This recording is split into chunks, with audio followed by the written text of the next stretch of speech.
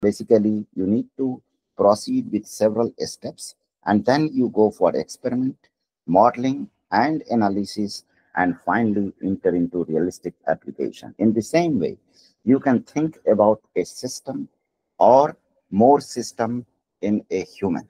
Then you can make a model. So basically create a small module and then expand the modules by integrating the small modules into one model as a bigger model. Then it will mimic the system where you can integrate more than one organ or more than one problem. Now, what are the comprehensive measurement? For example, here I have discussed earlier in comprehensive module, a technology or understanding. For example, this is FGFR4 pathway. Then here I have shown what are the downstream signaling pathways which could be regulated by the change in FGFR4.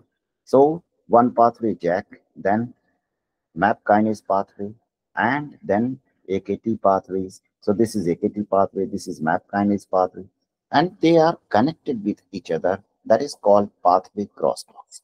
So here you need to create such kind of map first and then prepare the model or coding and set up the final model for simulating the entire system.